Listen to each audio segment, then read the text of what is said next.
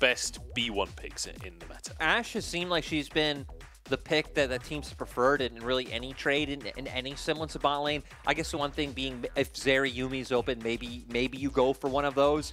But with the fact that teams have more regularly been willing to trade, whether it's the Heimerdinger or go for things like Varus, Ashe, uh, Caitlyn, like like these these other AD marksmen and support picks as well. That it's not something you need to go to, which is what TT do realize here. So if they want to try to answer this, they could go with the Jhin Heimerdinger lane themselves and have Huanfeng and Yao Yao play around that. Uh, we, we highlighted Lucian Nami. It seems like, once again, that is just going to go through. So probably will just get that that Jhin Heimerdinger lane coming on out. But no, Ooh. they're going to save support, considering that we just hit on, right? There are more options in the support role now, and wanting to get their hands on the K'Sante before the top lane pool gets pinched once again. Because I can imagine that Sion would not make it to second rotation of picks. No, definitely not. And uh, also, Hoya, his most played is K'Sante so far this split. Definitely very comfortable on the champion. As uh, Chalabat going to go with the Sejuani, not too surprising there. And now the bans are going to get interesting, right? Because I was about to say, Heimerdinger has been what uh, a lot of teams will pick alongside that Jhin. I'm curious if we get more support bans coming on through here, or if they now focus on the solo lanes. We need to remember that uh, that Jhin can also be flexed into that support role. Uh, I don't really know what they could go alongside with it. We've seen Huanfeng play a little bit of everything, and I feel like as the split has gone on, it's been less about like the set bot lane pairings that you think of, and you'll see a lot of times like just a marksman support be paired with pretty much any AD carry. Huanfeng's also been one of our predominant players of the Ziggs, so that's something you always have to remember That's when. Huanfeng is on the Rift. It's actually, I guess, not as most played anymore after that first game, uh, but just sitting right under it with, with three picks. Yeah. And also, Huanfeng known for the Jhin. Like, when Yeah. you think back to Worlds 2020, he did the Huang Huanfeng where he curtain called from the enemy base I love it. the Ziggspan. Yeah, respect. So, so they are acknowledging the fact that that can go down to the support role because when you think about what supports are left open that you typically see in Ashe that aren't marksmen, it's like sometimes we've seen things like the Karma come out, but Karma Jhin not really a lane you think too much of.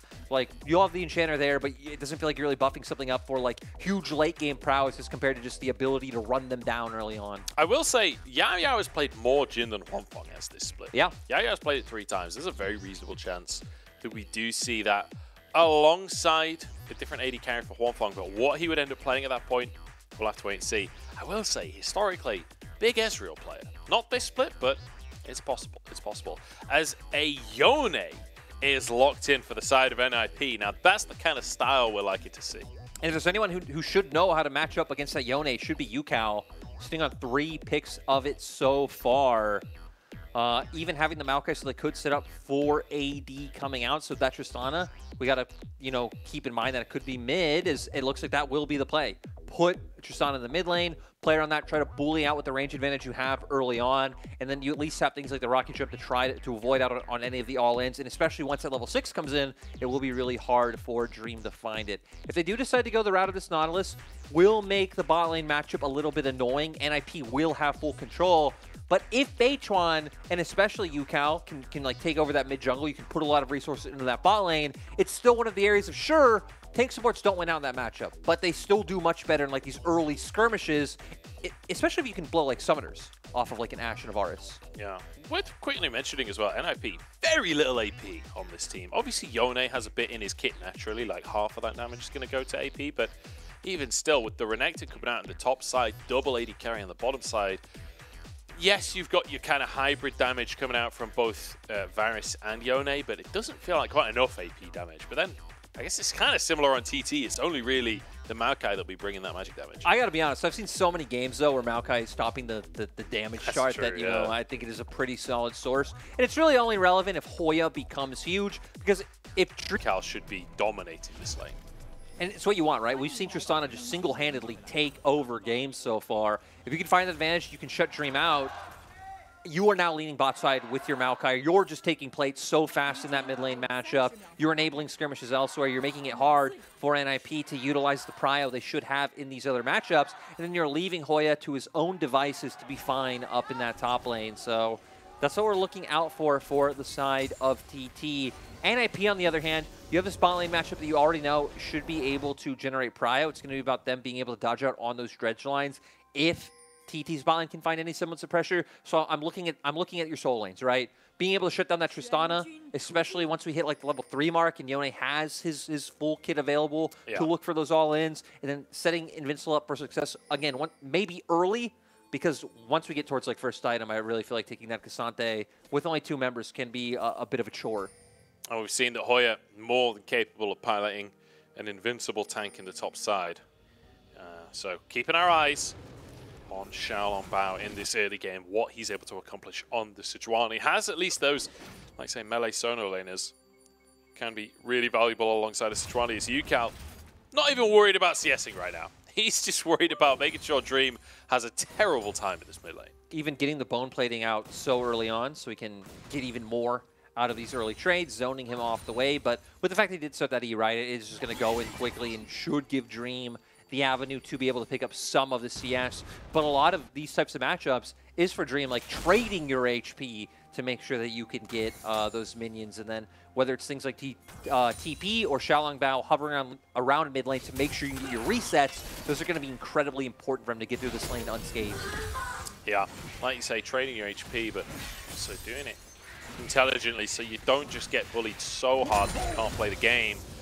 Beichuan level 3 moving towards his bottom side, but Photic Draw to have a ward, will be cleared away by Beichuan. As Bao moving towards his bottom side, this is kind of what we saw towards the start of the previous game, just the opposite way around, right? Where Beichuan now trying to pressure on towards his bottom side blue buff. Beichuan at least giving his bot lane the safety and security, right? Now having that that vision in bot lane river, also the sapling there to spot out any potential ganks that can come out from the side of NIP and make sure their bot lane doesn't get punished even more so than they already should. So I like that coming out from them, and it looks like Xiaolongbao is going to look for this. But again, Ward Yep, Zombie Ward is there in the brush. Nobody clearing that one away, and it means that uh, will be spotted. I think that ward was spotted as well, so TT should have full information that there is a ward there in the tri-brush coming out from Xiaolong Bao. But again, all TT really need to do in this early stage is make sure that Xiaolong Bao can't be snowballing. look at that mid lane CS already starting to build up. We knew this matchup was going to be hard. Like, NIP blind pick the Yone. But with the early... Okay, so is it actually going to go for the early reset? I was going to say, the second he recalls, comes back to lane with some components, going to be bullying that matchup out even harder. And that really is where a lot of the TT offensive is built around.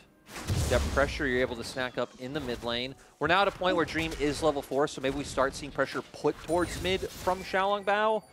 But right here, Tristana, you do still have some some tools to protect and keep yourself safe, like that rocket jump. Yep, still has Flash available as well. Rocket Jump available. Dream not going to find his window. Xiaolong Bao wanted to make it happen, but it, it just isn't gonna. Also really good by UCal to move up instead of moving towards his turret, because that could have set him up for the gank coming through. As we see the punishment bot lane, this is what we'd expect, right? Again, double marks when you're playing up against that Nautilus, and this is how you need this lane to go. You need to chunk them out so they're never healthy enough to be able to look for those all-ins. Yeah, that's the thing. If Nautilus has health to work with, and you're an Ashe, like that lands, you're gone. So making sure that they keep them low on HP. Once again, Bao trying to find that way into the mid lane. So UCal playing it intelligently. So you're an Invincible going at it in the top side as well. Nothing too much going to come of that lane. A very quiet early game. And we're essentially in this early game, we're trading a lead in the in the mid lane for a lead in the bottom. It's going to be about which team is able to, to more appropriately play around that. If NIP can start taking turret play, plating, break that turret very early on, and, and move this utility, this like siege force around the map, it's going to be monumental. And this could even open, open them up for things like Herald, right? Having that bot lane pressure and being able to move their bot lane over first. But you know for Yaya being on this Nautilus, it is about unlocking yourself from lane and enabling the rest of your team more so than it is about playing out through that 2v2. But with the 2v2, NIP should always have the option to have an early look towards Yeah. Drake. It looks like Xiaolong Bao might even be there right now. I love this from uh, Photo Control there. They realized that Huanfeng was going to try and recall. So they just shoved the wave as fast as possible, knowing that they don't have to physically cancel the recall. If Huanfeng goes back, he's just going to miss a wave. Force them to stay in lane as Dream could be in trouble here. Ucal, level 6, lethal tempo. Brock jumps forward with the ulti, but the bone plating comes off cooldown mid-fight and saves the day. That is so tragic. Still getting a huge chunk onto him. He doesn't have TP, so UCal will be able to get this wave in and, and once again extend the CS lead even more. But would have felt great to have that kill. Love that he recognized the window of I'm already level 6. This is my chance to really break this game open. Oh, Hoya actually proxy farming there for a second behind the tower. I don't know if you felt like you could dive Invincible. That feels perhaps a little over-aggressive, but just trying to put some pressure on. He's trading back and forth, getting those grasp stacks as much as he can. And it feels like this has been quite a tense early game, despite not a lot happening dramatically. It, it does feel like both teams really respecting what the other can bring. Aside from maybe UCal, who's going all in. And this is where he's going to actually have to start respecting the opposing side, right? Now not having Flash, and for a small period of time not having that ulti, Dream will have his. Dream will be able to try to find those all uh, potential, but I mean, with the, the item disparity, that could still be a bit rough. Pickaxe, two long swords. On the opposing side, only two daggers. UCal, I mean, his auto is going to be doing a lot of meaningful damage. Yeah, definitely. I mean, the all-in is terrifying, and Dream has no flash now. This is the thing about Yone. People talk a lot about the fact that you can jump in and get out without recourse, but if you are caught out in the first place, you have no way out without your ultimate managing to land. But your ultimate also blockable if someone jumps in the way stop you escaping. So Dream does need to be cautious in that mid lane, not to be caught out of position, not to give UCal the chance to, to find that all in. Xiaolongbao level 6. That's why we see him hovering around mid, was hoping to turn this into a Scuttle Crab, but even now opportunities presenting themselves for NIP to find the engage that they want. Um, feel, feels like Glacial Prison should always be like a surefire, at least summoner spell coming out on the opposite side. We have seen a lot of LPL junglers uh, flop those quite a bit, but hopefully Xiaolongbao doesn't do that here. Definitely not. Definitely not. Yao Yao's found him in the jungle though. Is Beichuan gonna get the roots across the whole world right here? Xiaolongbao forced to flash, but here comes UCal looking for resets. The bomb's gonna go off on all three players, and here come the rest of the jumps. Joel takes a fourth shot, but Photic, the target of UCal, forced to flash. But another great start for TT. UCal using that ult to push Photic towards the wall, hopefully by a bit of time for the rest of TT to get there doesn't surmount into another kill, but does equate into another flash having to come through. And this is what we were hitting on early on in the game, right? Is that for TT's bot lane, it's a lot more about these, the scraps, the skirmishes coming through. If UCal has Cryo, he can move first. You can more easily enable those fights. And great read by Beichuan to be there at the same time to make sure Xiaolongbao can't find that game. Invincible using his ult in the top side as well, but can't really find the pressure he needs. But it's enough to force Hoya under the tower and open up this Herald. Dream was still in that mid lane, shoving that wave, so he has priority mid. Invincible gets priority top. Xiaolongbao starts to Herald off. But Beichuan is here. UCal waiting just over the wall for a chance onto Invincible, who doesn't have Dominus available. 2k on the Herald as Hoya on the top side of the fight. Here comes Yao Yao to start the engage. Knockups are there. Dream is already down. Is Xiaolongbao forced away. Looking for the knockup here from Hoya if he can find it. Goes wide. The slow is there though. And Yao Yao over the wall waiting for Hex Splash potentially. And it's a kill for UCal. I was a, a, bit afraid for TT because a lot of their key ultimates in that fight weren't up. Dream still had his, but great job soloing him out. It's going to turn into Herald.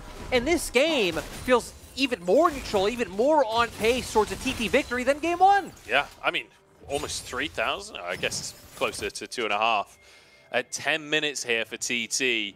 And UCal having a, a game and a half right here on the Tristana. 2-0 and 1. Once again, Xiaolongbao just caught out away from the team. The team not really on the same page. I mean, uh, honestly, not reading the fact that, that Beichuan would be here, would be close towards the spot the play, thinking at the time, to hit on having that prio in mid lane allows UCal to be able to join up. But here is what I found even more impressive, because I thought Dream would be able to solo out the key carries like UCal, but goes towards Hoya. Hoya able to pop the ultimate straight into the dredge line, straight into Yaoyao's ulti. Just great use of CC to make sure that the Yone had no time to do anything. It just leaves Dream in a position where, after having used his flash, they're able to run him down. I love watching Yao Yao at the end of that play. He's just stood in the back of Herald bit like, well, I can't do anything, but just is XP range a thing for champions? I'll just stand as close as I can to the fight uh, and just just pretend I'm involved. And we're at a point now where TT are starting to complete some items. Frostfire Gauntlet now picked up for Hoya, getting to that point where he will be such a nuisance to take down. Beichuan being that only AP damage, demonic embrace coming through, so the sapling is going to be hitting even harder. And I, I, have to imagine that UCal might even be just ready, like ready to base and, and pick up his mythic quite soon. So yeah, it's it's looking rough when NIP, I mean, looking at Dream especially, still pretty far away from being able to get a full item completed. Herald now dropped in mid lane, just doubling down on the lead and advantage that UCal has found even more. Yeah, that's two plates going down there. Here we go, all in from the side of NIP. Beichuan the target, but knocked back in Yao Yao, doing so much to buy space. Beichuan dodging away from Dream's ultimate as UCal starts to clean up in the fight. Dodges back out again as well. UCal looking insane with the health bars low. Dream has an opportunity as UCal goes in for more. The resets are there. Is UCal going to go for draw as well? Invincible's in the wings. Hoya is behind the team as UCal has to back away. You cannot give UCal a champion that has this much playmaking potential because, my God, it is beautiful to see how he's just weaving around these fights.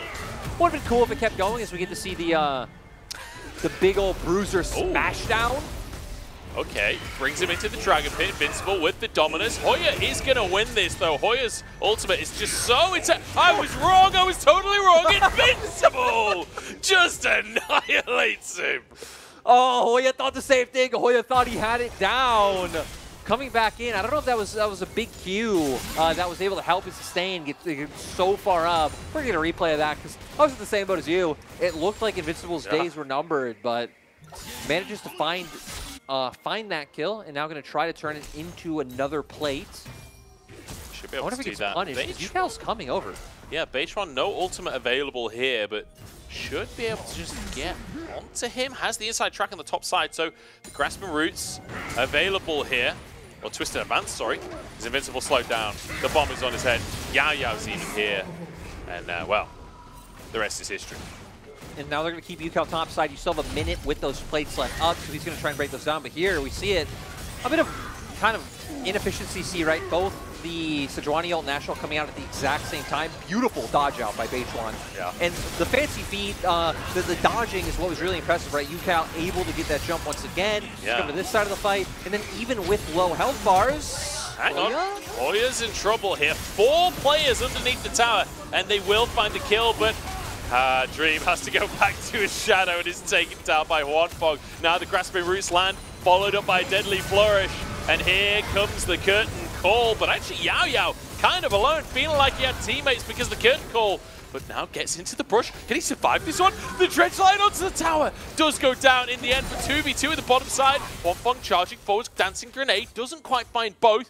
Beichuan's here to close the gap. Voting the target, but a Bramble Smash to finish off the enemy jungler. And all of this was without their strongest member. UCal was up in topside, taking that turret. I believe he got three plates while all that was going down, took the turret outright, and they're still able to win the fight on the bottom half of the map even people like Photic, you're committing so heavily for that kill on Yao Yao, but you're burning Flash, you're burning Keel to close that distance. It's yeah. setting you up in a place to where TT, of course, are going to be able to trade up. And now we're at a point, not even 15 minutes in, 6k gold lead on the side of TT. I guess a bit diminished now, considering, you know, we just had that, that bounty go over, but... Yeah. Doesn't feel like diminished enough, though, does it? no. As, uh, I mean, look, at least they get a pick onto Hoya here, who obviously did not realize the whole enemy team was here, but that Shadow coming out from Dream. That really was the beginning of his demise. Yeah, we see them go in, they find it, but now surrounded by all the members of TT. He instantly goes down and now left in a position to where, sure, you have now found one pick, but you are completely surrounded by the members of TT. Curtain Call comes out. Sure, Yao Yao thinking he you know had more friends, but he's able to buy so much time. Goes into yeah. brush, no vision for that split second, and as we saw, Photic burning the flash, you're now just surrounded by the enemy team. So being a four for two in favor, and I was gonna say look at the bottom left-hand side of our screen, because we actually saw TT setting up for a dive, but Dream smartly backing off. Ooh. Hoya will get stunned up here. The follow-up there from Photic as well. Invincible gets another stun. Hoya desperately tries to survive. Oh, pulls Invincible across the map and then dashes over the wall. Hoya actually gets out of that. That's insane. Manages to escape, allows for TT to put all this pressure on the opposite side. Don't only look at mid, look at bot, where UCal is pushing in. Oh, curtain call? Whoa, Invincible should be able to body block this. One needs to get out of there, but here comes Dream from the backside. Huanfeng surviving. Huh, I was pretty sure he was dead there, but I guess not. Then Arut comes back out as Beichuan Brabful smashes Invincible, just getting battered around in this fight. Cannot move. And the craziest part, again, this is all without your 5-0-2 Tristana. UCal's just being this force making money yeah. all around the map. He got the top tower with the place, then he went and got the mid lane tower, and now he's been at the bottom side during this fight. I mean, he, he is beyond rich. All of this, like, so after everything we've seen in this early game, there's only one inner turret left. And TT are now finally picking up the second Rift Herald. So uh, I, I, feel like they should be able to start breaking down the base very soon. And, you know, we're on track for TT to win this game. Like, it would it would take throws on throws on throws for NIP to come back. So I just want to say great bounce back from a loss against OMG. Again, a close, close games, but a loss nonetheless for them to have such a dominating performance as we see here. Much how does he do it? Uh, he pressed R. He did and then he pressed D. There you go. I don't want to claim to be the superior analyst here, but uh, you there asked you, the question, There you go, the K'Sante Mains. Tips for all your solo queue games. Yeah. Press R, press E. It's as simple as that, baby. Dragon going to be started off here by TT. And, uh, I mean, it's like you say, the, that series against OMG, very close games, but definitely things to work on. Feels like today they are coming in with a very clear plan of how they want to play this one out.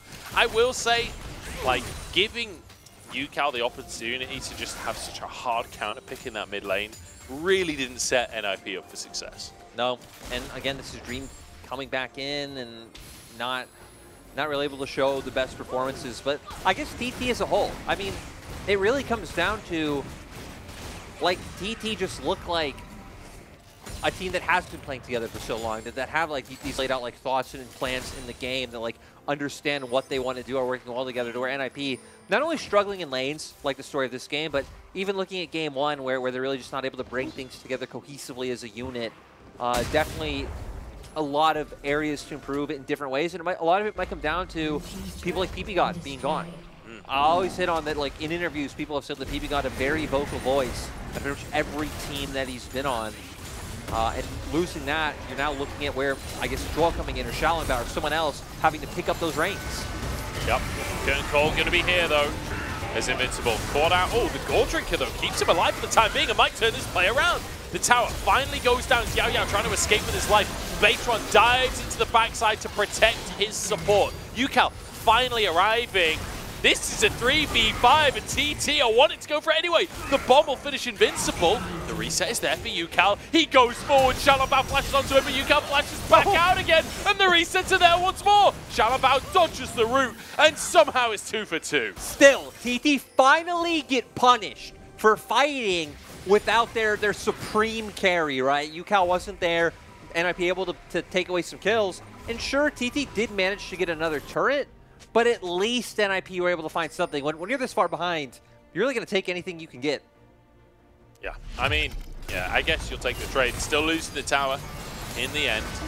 This Goredrinker right here completely changes the play. Like, I was so sure Invincible was done for. Yeah. Goredrinker keeps him healthy in the middle of all the members. Has him see Huanfeng not able to put off the most damage against him and feeling a little bit wary to walk forward when, when Yone is also grouped up. But the second UCal comes in, Yao Yao hitting some great hooks. This going to be able to bring Invincible down to let the reset come through. This was bold. Yeah. I thought he was going to be he was going to regret this decision, but Yao Yao still able to follow forward and make sure that they can convert those into more kills is great. But I will say, right, not only trading like evenly, even if you lose a tower, but with TT's lead, I mean, you would think off of a Rift Herald push at this point, yeah. TT should be like breaking in his. So that's why in my mind definitely ending small. the game, honestly. Yeah. like with how far ahead they were. So uh, I'm going to take that. They are still massively ahead at the end of the day. They, are, they do still have this tremendous lead. Asharo going to go on through, at least gate vision for a second there. Doesn't find the stun though. TP being channeled is NIP. Last chance saloon here. Invincible flashing on towards UCal, but won't be able to finish the kill. In the meantime, Yao Yao caught the top side of the fight. Invincible traded though, and Duo now found as UCal trying to finish those kills, but the flash keeps him alive. And NIP, they're bouncing back in this game. NIP, they keep managing to find picks with their long-range engage tools. And once again, UCal not able to put off any DPS to make sure that TT can solidly win out in a fight. UCal chasing them off. Beichuan did survive, which means, honestly, with a Tristana, maybe they just go for the Baron again anyway. They really could just brute force this one. Shout out in the vicinity. TP's coming out from both sides. As we look to try and reset this fight. Xiaolong Bao over the wall. Arrow comes through, stunning up Yao Yao. Dream into the pit, but dashes back out immediately. Xiaolong Bao dives in to try and find the steal, but they've stopped the DPS. Uh, well, they sort of stopped the DPS. That was so close, right? That steal was definitely possible from Xiaolong Bao. Does it manage to get it. And now with Baron. They're going to keep running NIP down. They're just going to kill everyone, I'm pretty sure. This is 2v4 from UCal and Hoya as they just look for so many kills. Invincible, the next one, as he jumps on forwards. UCal shredding NIP to pieces. And UCal looks to grab himself a quadra kill. What a victory lap from this squad. Huge from UCal in that fight. They even have waves to just go for the game win. 22 minutes in. T I mean, TT didn't make this look easy. This was easy for TT. Yeah, I mean, absolutely. TT domination here. Oh, wow. Uh, they're not actually going to win the game. They don't, they don't the, I guess death timers are quite low because it's yeah. 22 minutes. I That's still true. thought, I thought after what we just saw, TT would have the swagger to be like, ah, we don't care, boys. We're strong enough. Let's go for it. And, you know, you know what much? Now, they're going to be even stronger. Look at Zedim's coming out, Medjai's in jungle, Rapid Fire yeah. in mid. We're going to see how this all goes down. TT not able to prevent uh, Sean from coming into the pit and ends up spiting a little bit too early, which still leads to TT getting the Baron.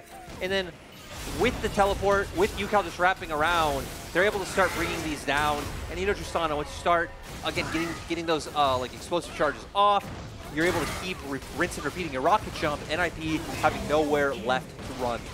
Yeah. I mean, UCal was seven levels up on Zhuo there as he DPSs down the enemy Ashe support. Like, that is something else. And even against Invincible, he had two level advantage. Invincible went in there, gets his combo off, realizes he's only done a fifth of Tristana's health, and uh, realizes his demise is imminent. Good little dodge on the arrow there from UCal. As we could be looking at more multi-kills in the second here. UCal DPSing away. Xiaolin found the first target, but no.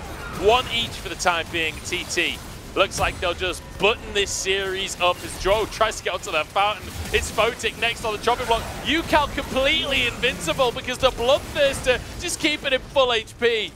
And speaking of invincible, he gets just about onto the fountain to keep himself alive. That's going to be game, set, match here for TT. Absolute domination on the Rift. TT showing, even if they face a road bump in their last series, they have not lost a step. What's most telling to me about this game is at the end there, you killed four items. Uh, and Dream hadn't even finished his second. Wow. That just shows how much of a commanding lead he had, how much UCal dominated. And I have I have loved seeing Tristana's like resurgence back into the mid lane, especially in the hands of LPL mid laners, and just see all the crazy, exciting plays and how they're able to, to just take over